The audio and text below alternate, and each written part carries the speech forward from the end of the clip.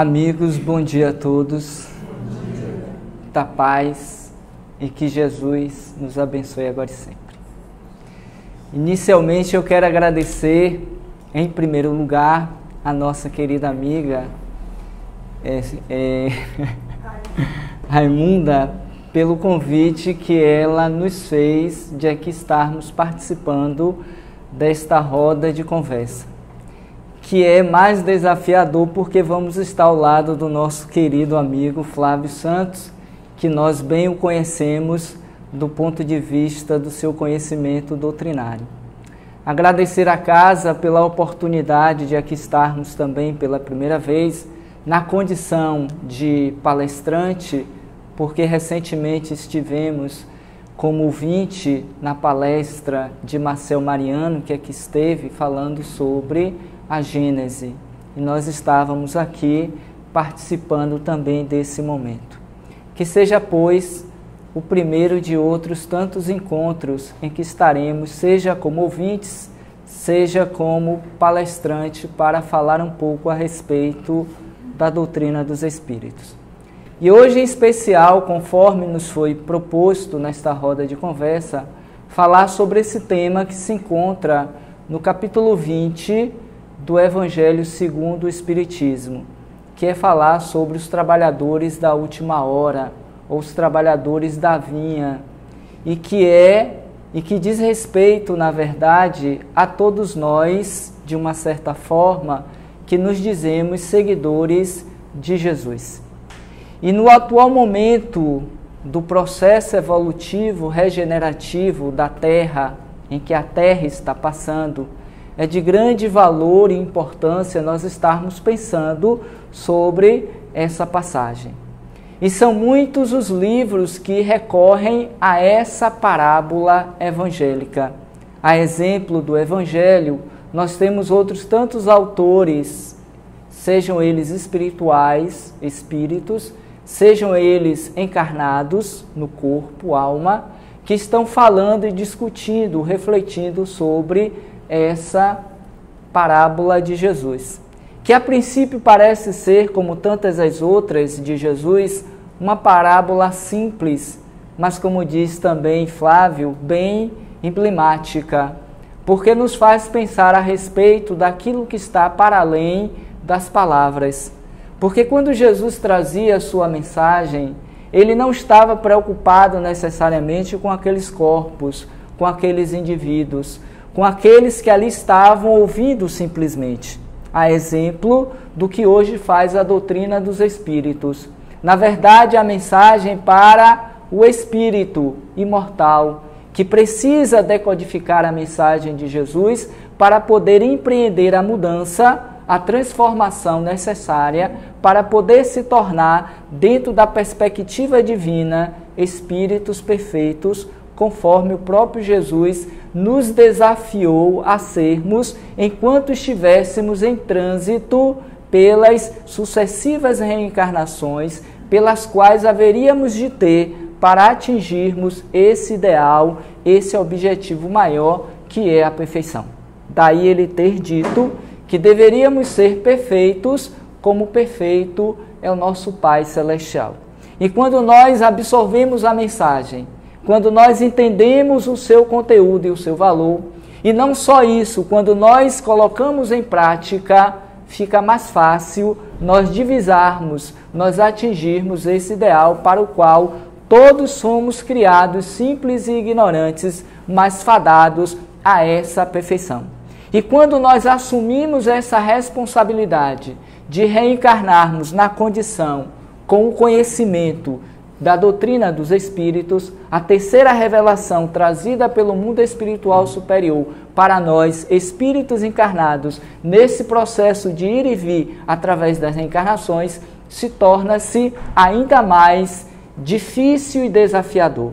Porque, conforme diz o Evangelho, a cada um será é, pedido daquilo que obteve.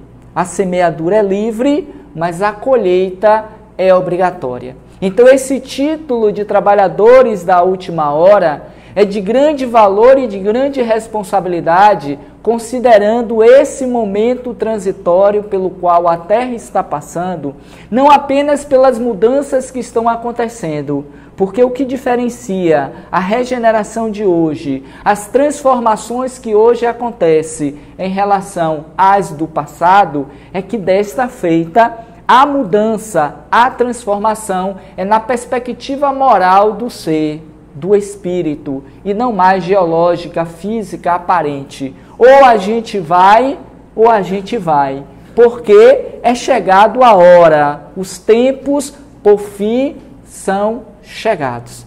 E não adianta ficar apenas na letra que mata, no discurso, no conhecimento teórico. É chegado o momento para que nós façamos valer o direito do conhecimento dessas verdades libertadoras, conforme propôs Jesus em uma também das suas muitas citações, nos chamando a atenção da necessidade que deveríamos ter de conhecermos a lei, a verdade para que ela nos libertássemos.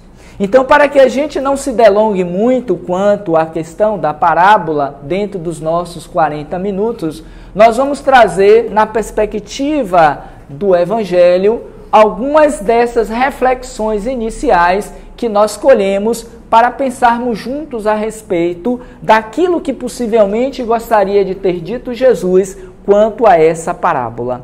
Mas a gente poderia dizer também, inicialmente, que a parábola dos trabalhadores da vinha, ou os trabalhadores da última hora, ela se encerra em pelo menos em três partes.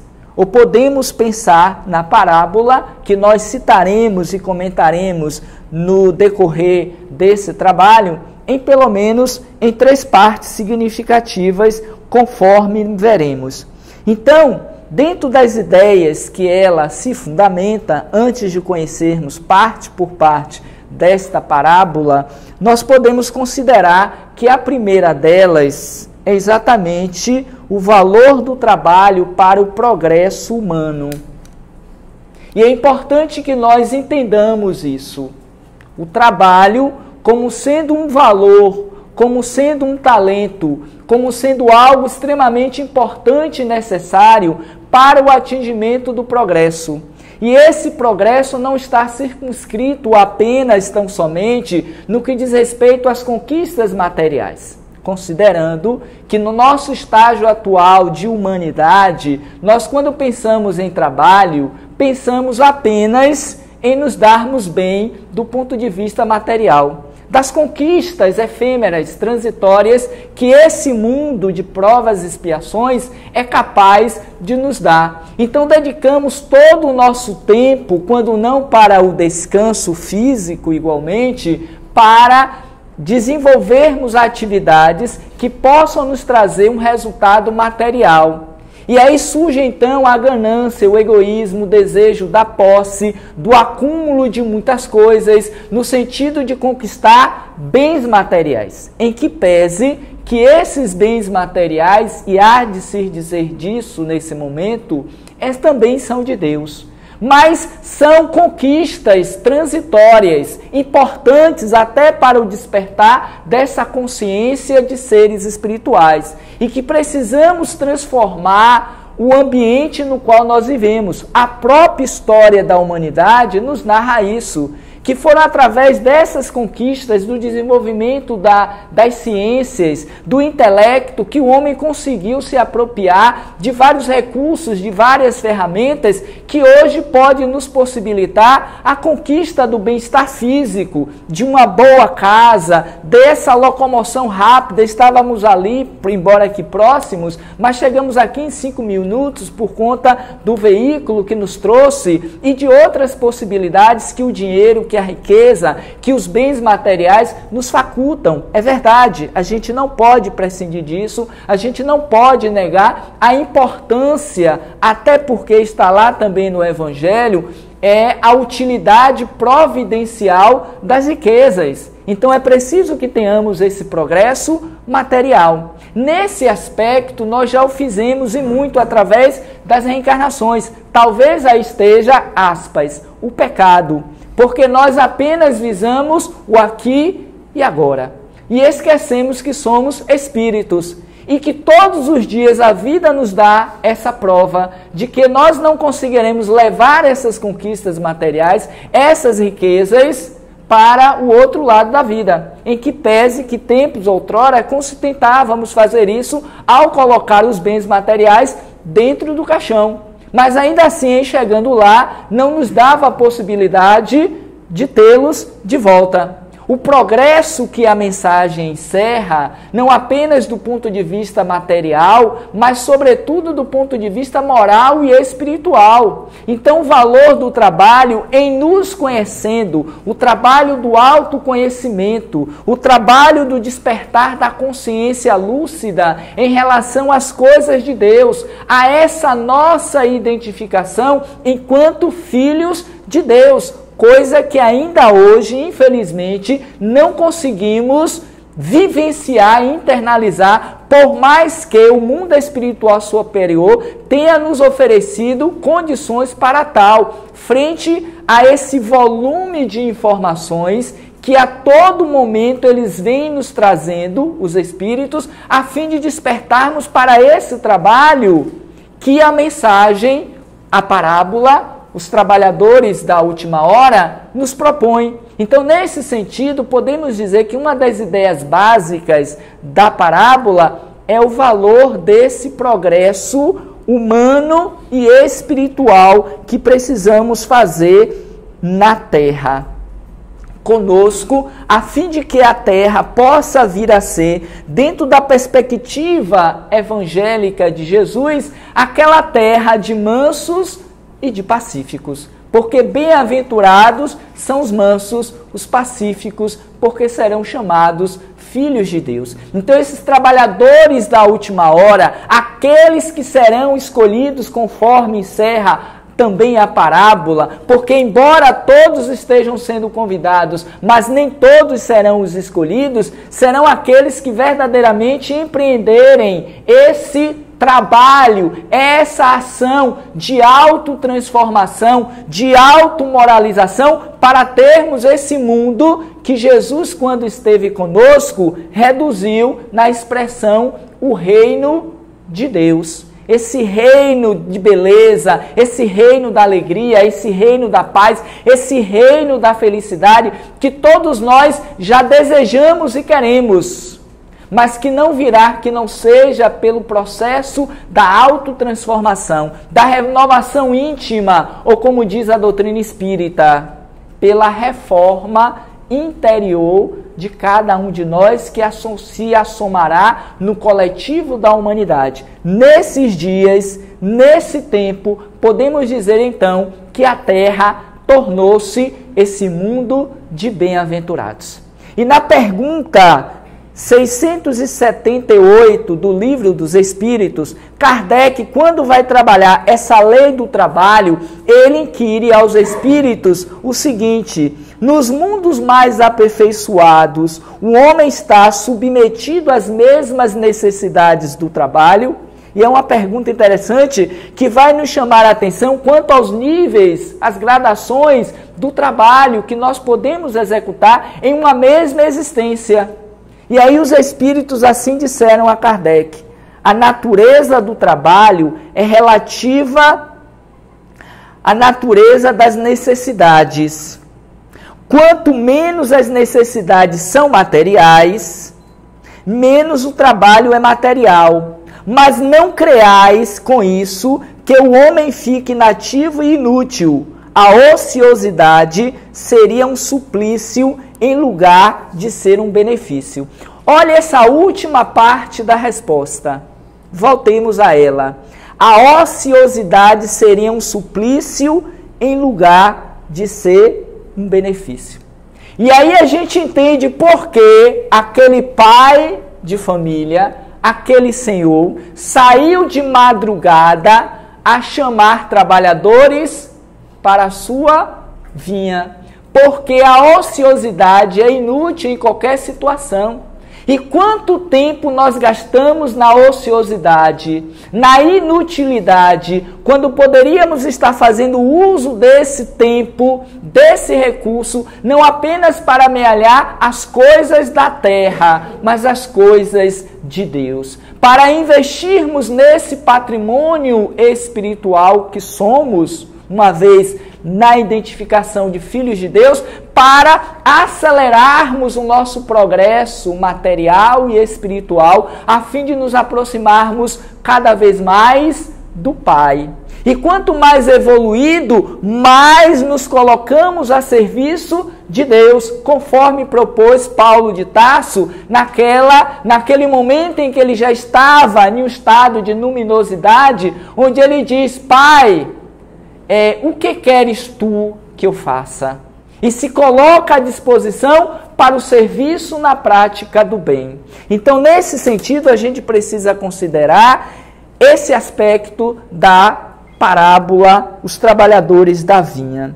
E então, seguindo, podemos também considerar o significado do trabalhador da vinha. E aí nos lembramos daquela citação em que Jesus vai dizer: Nem todos aqueles que disserem Senhor, Senhor, entrará no reino de Deus, mas somente aquele que fizer a vontade do meu Pai que está nos céus. E a vontade do Pai que está nos céus é que, fazer, que façamos esse trabalho de mudança, de transformação, de renovação íntima, onde na vinha do Senhor, no ambiente no qual o Pai nos colocou para desenvolvermos as nossas habilidades e as nossas competências, um ao lado do outro, nos entreajudando para que a transformação ocorra. Porque esta mudança planetária, essa renovação na qual tanto falamos e propagamos, não virá de uma de um grupo apenas, de um indivíduo, mas sim coletivamente para que possamos adquirir condições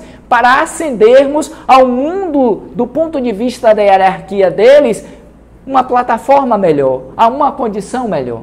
Por isso, é, essa ideia de que o significado do trabalhador da vinha do Senhor. Muitos estão sendo convidados a trabalharem na vinha do Senhor, mas nem todos serão os escolhidos. Porque, ainda que nos dizendo espíritas, trabalhadores da última hora, não fazemos muitas vezes de acordo com a vontade do Pai.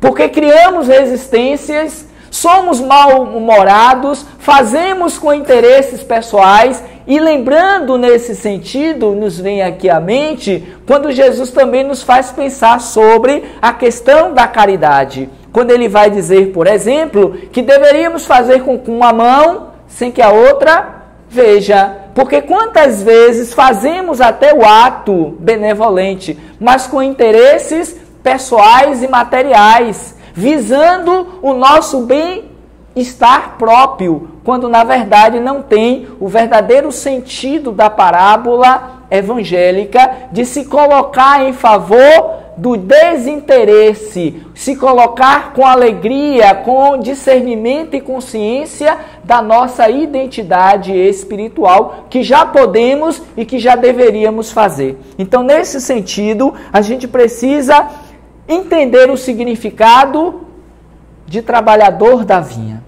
E o Senhor vai a cada período do dia, conforme veremos também, aliciando, chamando, convidando aqueles que estavam na ociosidade, sem o trabalho. E às vezes nós temos o trabalho, mas vamos mal-humorado, reclamando, maldizendo, fazendo é, me, perdo, me perdoe aqui a expressão, viu? Não sei se pode, mas vai lá. A meia boca, como se diz os jovens, no sentido de fazer com, é, de qualquer forma, sem, um devida, sem a devida interesa, sem a devida entrega, com a qualidade que já poderíamos fazer. E aí o que, é que acontece? Quando voltamos ao mundo espiritual, e que acreditando que seremos recebidos pelos anjos e os arcanjos, que o tapete vermelho será estendido para passarmos e que todos estarão lá nos louvando, dizendo graças a Deus, que chegou um espírito iluminado, nós não conseguimos muitas vezes ver é, um palmo à nossa frente do nariz. Encontramos em um ambiente que a gente se pergunta, mas meu Deus, por que, que eu estive aqui? Por que, que eu estou nesse ambiente de sofrimento, de dor, onde tudo é, é solidão, em que André Luiz, Dr. Bezerra de Menezes, ou aqueles que dizíamos falar durante as mediúnicas, processar as, as comunicações, não vieram me atender. Onde estão todos? A exemplo daqueles que dormem, aguardando que o Senhor vá lá despertá-los. E isso não acontece, embora sendo trabalhadores da vinha do Senhor, porque não fizeram com a qualidade que deveriam. Então não é a quantidade do fazer. Porque muitos desses trabalhadores da via querem abarcar tudo. É de segunda a domingo em todos os horários. Querem ser trabalhadores achando que os melhores postos são aqueles que dão títulos, honras materiais. E a qualidade desse fazer? Porque muitas vezes o servir um copinho de água para aqueles que estão tomando passe tem muito mais qualidade do que aquele que estão dando o passe. Mas a gente não quer ser o distribuidor do copinho de água. A gente quer ser o passista, porque dá aquela ideia, muitas vezes falsa, que a gente tem uma energia superior e que vai desobsidiar todos que passem por mim. Porque a minha, o meu passe era uma expressão comum, pelo menos antigamente, que diz assim: "O meu passe é um passe mais forte". Forte em que? Em tamanho, em, em massa, qual é a qualidade do meu trabalho? Então são esses que muitas vezes são pegos de surpresa quando chegam do outro lado da, da vida e não conseguem se perceber, precisando voltar para recomeçar tudo de novo com essa consciência de espiritualidade, de espiritualização, que ainda me permitam também dizer, nos falta para a maioria de nós que nos dizemos espíritas e trabalhadores do Senhor. E por fim, a terceira ideia básica dessa passagem é exatamente, deixa eu ver aqui, para a gente entrar propriamente no tema, é é isso mesmo, só esses dois.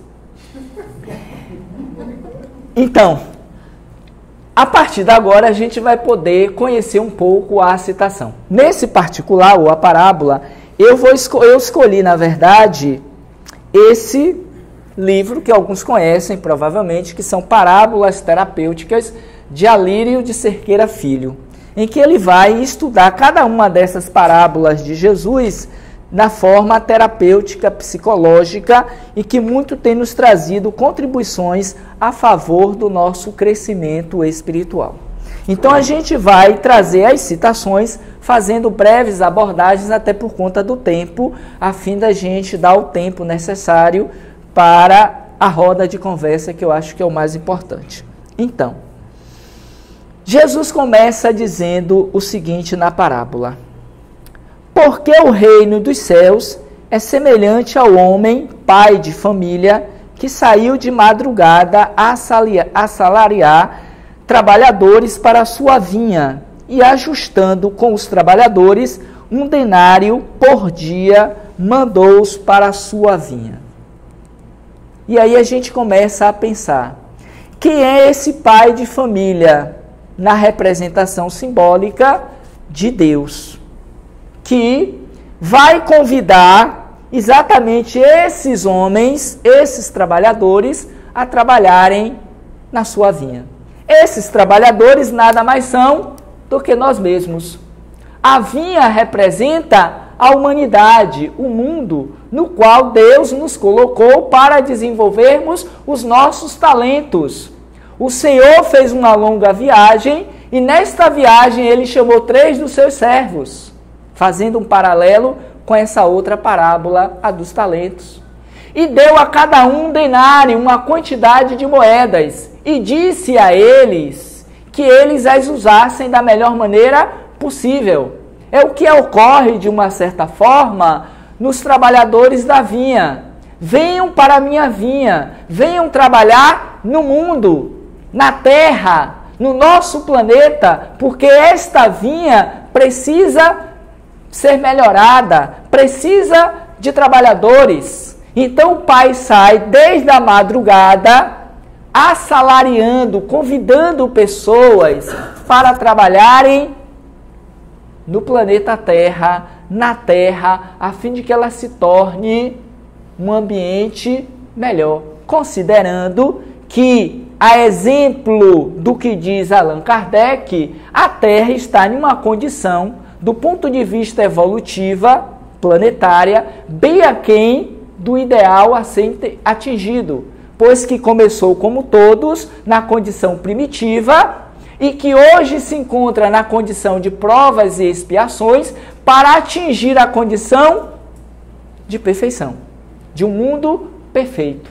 Para tanto, é preciso que trabalhadores existam. É preciso que os trabalhadores tomem desta charrua, que entrem para desenvolver o trabalho que precisa ser feito, a fim de que ela seja remodelada. E então, estabeleceu para cada um desses assalariados um denário, uma moeda, um valor ao final do dia. Essa madrugada simbolicamente representa desde o início da evolução do homem na terra, que os espíritos vêm nos convidando a estarmos a serviço. E aí a gente entende que esses trabalhadores, conforme diz aqui a passagem, por exemplo, e saindo perto da terceira hora, viu outros que estavam ociosos na praça, e disse-lhes: Ide vós também para a vinha, e dar-vos-eis o que for justo. E eles foram. Reparem que a parábola, ela vai nos dizer que a cada período do dia, o Senhor chama esses trabalhadores para a vinha. O que que isso significa dizer? Que dentro dessa ideia do evolucionismo, das reencarnações, que era a terceira parte que eu tinha perdido, que trata exatamente do processos reencarnatórios em cada período do dia, em cada período da evolução humana na Terra, o Senhor vai convidar exatamente esses trabalhadores para estarem movimentando o arado, para estarem revolvendo a terra, para estarem trazendo a sua mensagem. E aí nós temos ao longo da história, conforme nos diz os livros bíblicos e a própria história de um modo geral, que estivemos na que tivemos na terra vários homens e mulheres que fizeram esse trabalho. Os antigos, os primeiros profetas, Moisés e todos aqueles que vieram depois de Jesus, foram esses trabalhadores da primeira hora. Foram a esses que foram chamados pelo Senhor para poder trabalhar com ele. E repare que quando o próprio Jesus esteve na terra, na passagem evangélica, nos primeiros capítulos do Novo Testamento, Jesus saiu chamando os seus discípulos aqueles homens ignorantes para trabalharem também na sua vinha, considerando que, de acordo com a questão 625 do Livro dos Espíritos, Jesus é o governador planetário da Terra, é o modelo e o guia, e ele esteve em corpo físico conosco para nos chamar a esse trabalho. Ele foi um dos grandes operários nesse processo da ressurreição da Terra, da transformação e da renovação do planeta Terra. E ele convidou doze, porque ele sabia que não poderia fazer o trabalho sozinho.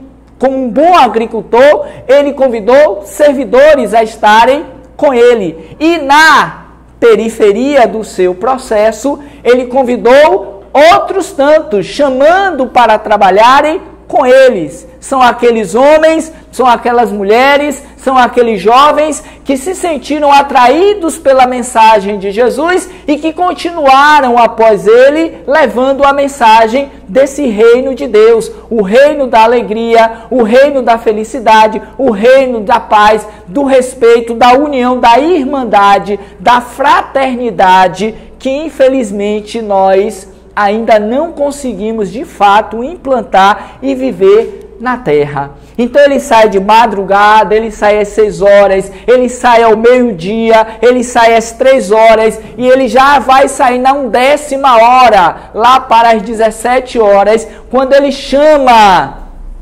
esses trabalhadores para pagar o dia de trabalho por eles. Então a gente percebe que o Senhor, pai de família, ele teve uma atitude de justiça.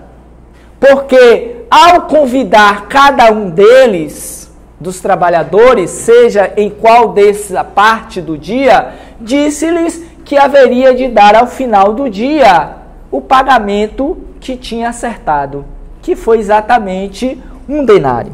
Mas aí o que que acontece? Vamos lá? É, e aproximando-se à noite, estou encurtando porque eu estou de olho no relógio, e saindo perto e aproximando-se à noite, disse o senhor da vinha ao seu mordomo: Chama os trabalhadores e paga-lhes o salário, começando do derradeiros, dos últimos, até os primeiros.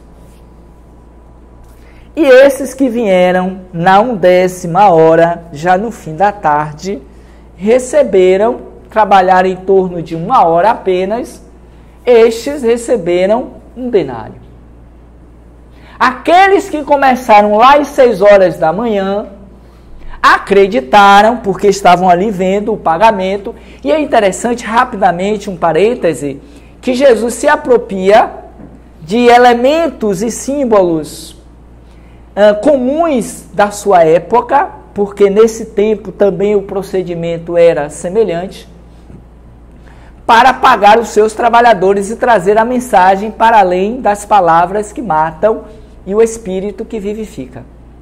E então, chegando esse momento, ele vai dar aos primeiros o denário.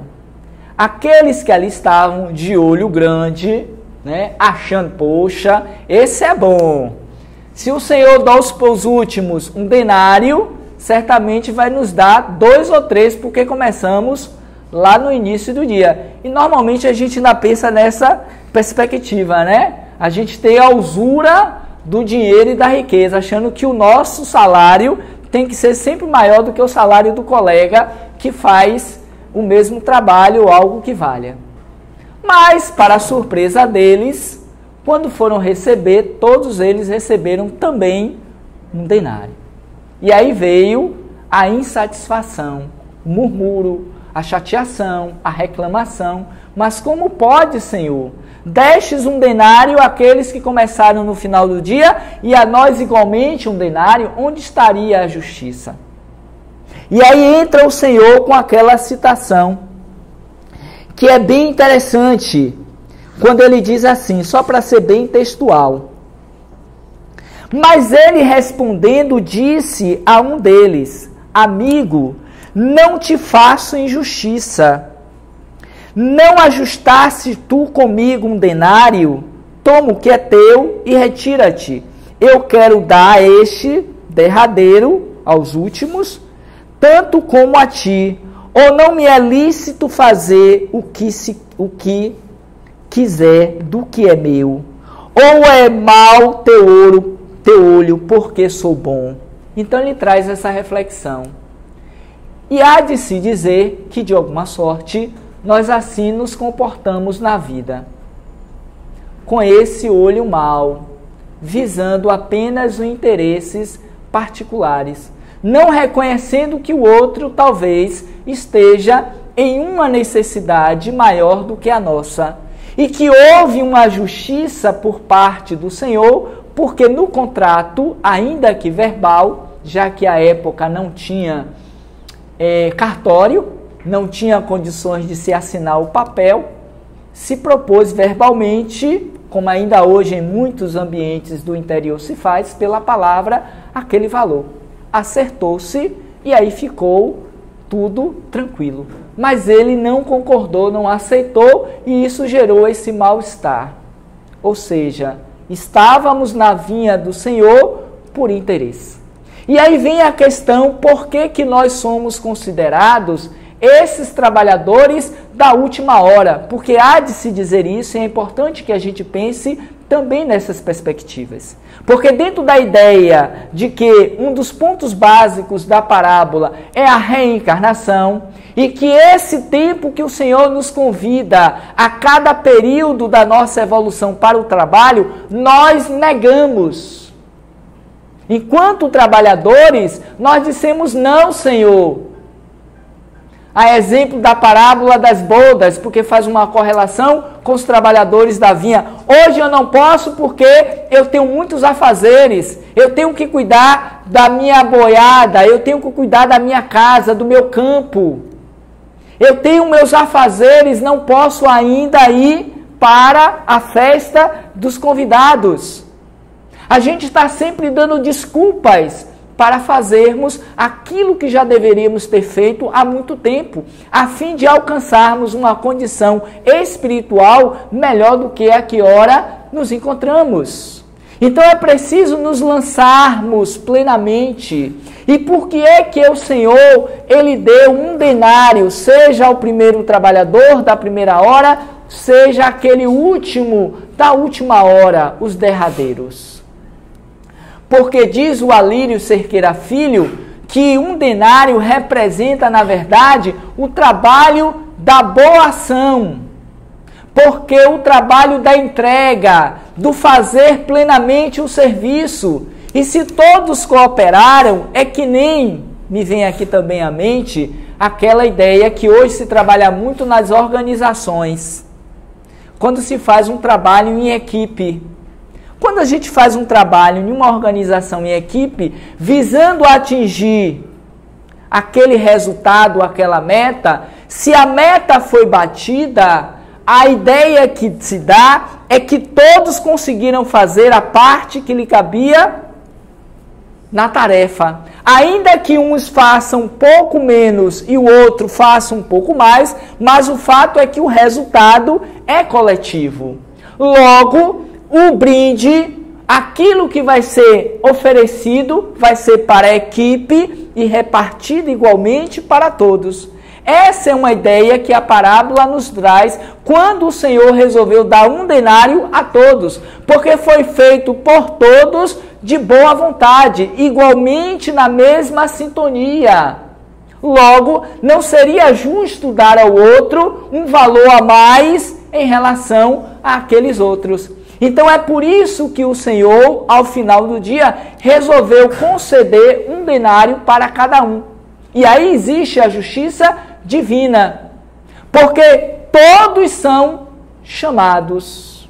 Muitos são chamados. Mas nem todos são escolhidos.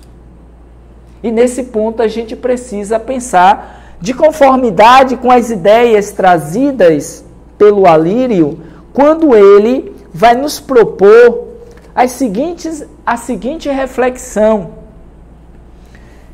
para nós entendermos o valor de ser espírita.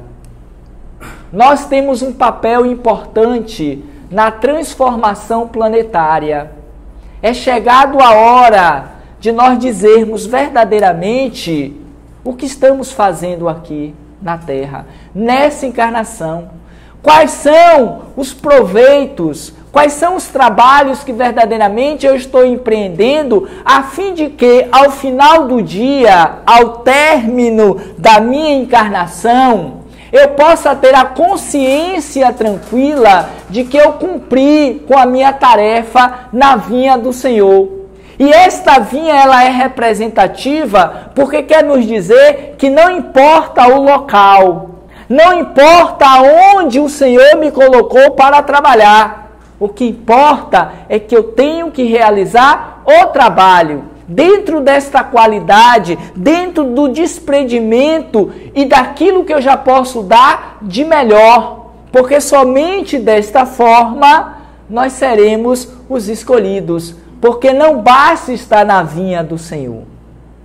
Não basta estar encarnado, não basta se dizer espírita, mas é preciso, sobretudo, fazer valer o direito da concessão que nos foi dada nessa encarnação para acelerarmos o nosso processo de engrandecimento moral e espiritual pelo trabalho no bem. A simbologia do trabalhadores da vinha do Senhor quer nos dizer isso. O trabalho no bem, a propagação da mensagem de Deus trazida por Jesus. E aí a gente entende porque o próprio Cristo dissera aos seus discípulos, já nos últimos instantes da sua permanência física na terra: Ide e pregai, levai a mensagem de Deus a todos os ambientes e lugares.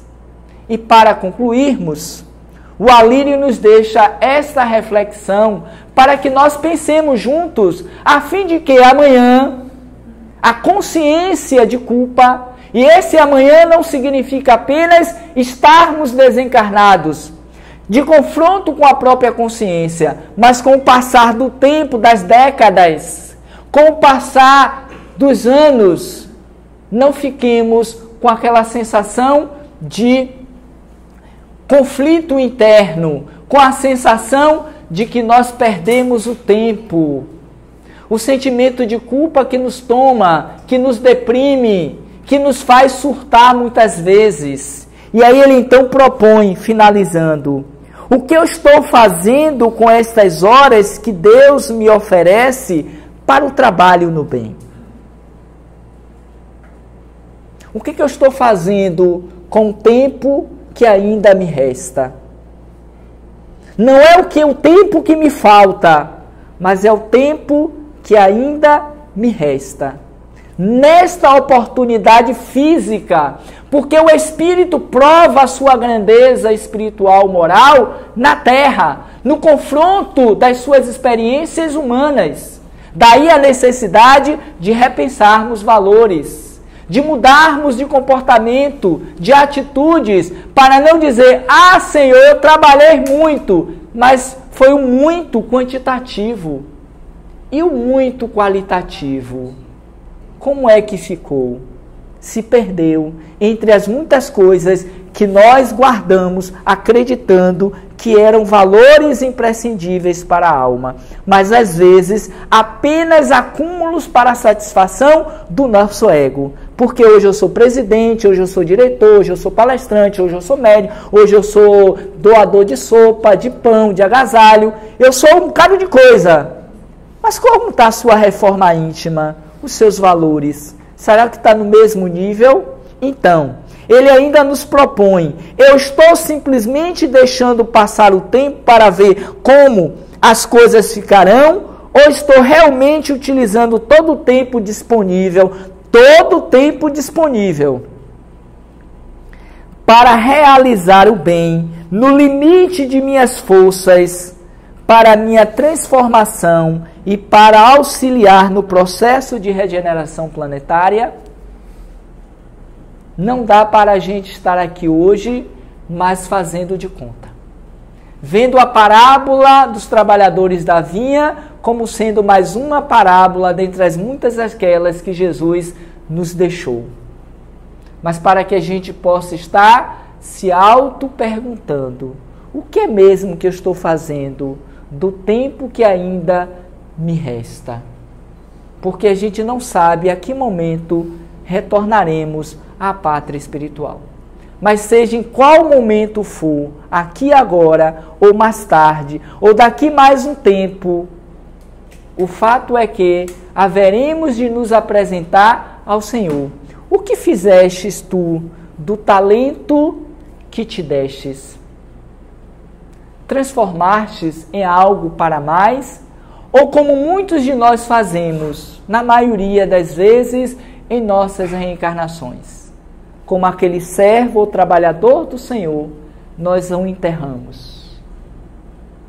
Nós colocamos debaixo da terra com medo de arregaçar as mangas e trabalhar na vinha do Senhor com desprendimento e com total entrega, a fim de que o nosso tempo seja validado do ponto de vista da nossa realidade espiritual e da condição que já podemos para transformar a Terra nesse momento de regeneração planetária na qual ela se encontra. Portanto, é preciso que nós pensemos com carinho, com cuidado, com atenção, para que amanhã, frente à própria consciência, não entremos na consciência de culpa pelo tempo perdido quando poderíamos ter investido a serviço de Deus. Muita paz, muito obrigado a todos.